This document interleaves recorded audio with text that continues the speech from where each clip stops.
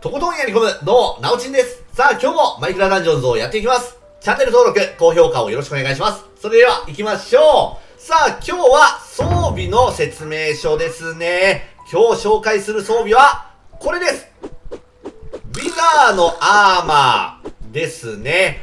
ウィザーのアーマーのスキルなんですけども、まず、35%のダメージ軽減がついております。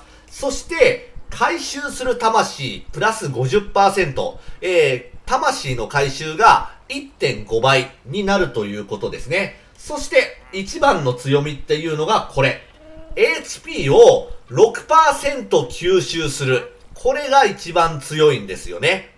この HP を6%吸収するスキルなんですけども、与えたダメージの6%を吸収します。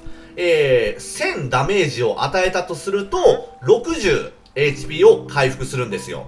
ただし、これ注意点があって、えー、ダメージ1000与えました。でも、敵の HP は10しかありません。という場合は、10しか回復しないので、そこはちょっと注意が必要ですね。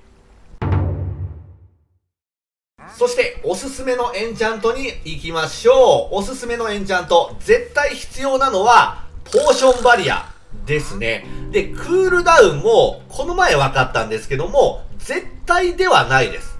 えー、装備を選べば、クールダウンなしでもいけるんですけども、基本的には、クールダウンも入れておいた方がいいかと思います。ポーションバリアとクールダウン。まあ、この二つは、えー、探していっていいんではないでしょうか。そして、ウィザーアーマーだけではなく、まあ、ほとんどの防具に言えるんですけども、この3つは間違いないと思います。ヘルスシナジー、そしてタンブルビー、デスバーター。この3つですね。えー、単純に硬くなります。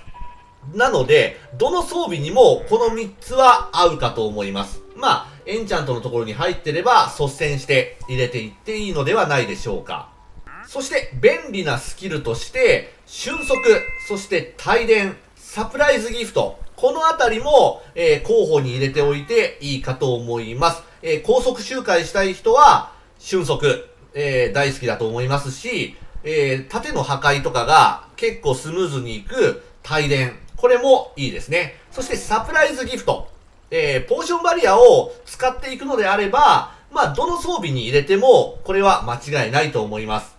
そして、ドッグフォーカスとライフブースト。この二つも、場合によっては入れてもいいかなと思います。ドッグフォーカスは、えー、覆われた怒り。あと、無知だね。ツタの無知。その二つを使うのであれば、えー、入れるとものすごい強いですし、えー、ライフブーストも、うん、死ななければ意味はないんだけども、えー、難しいところでどうしても死んじゃうっていうのであれば、えー、保険として入れておくと、だいぶ、えー、役に立ちますので、この2つもおすすめですね。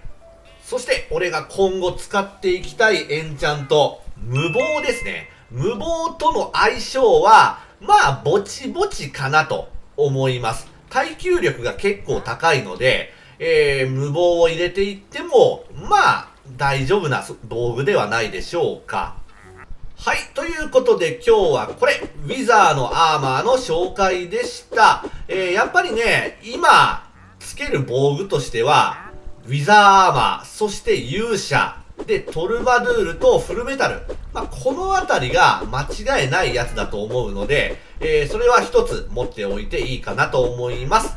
はい、ということで、またやっていきます。チェックをよろしくお願いします。そして、チャンネル登録と高評価もよろしくお願いします。それではご視聴ありがとうございました。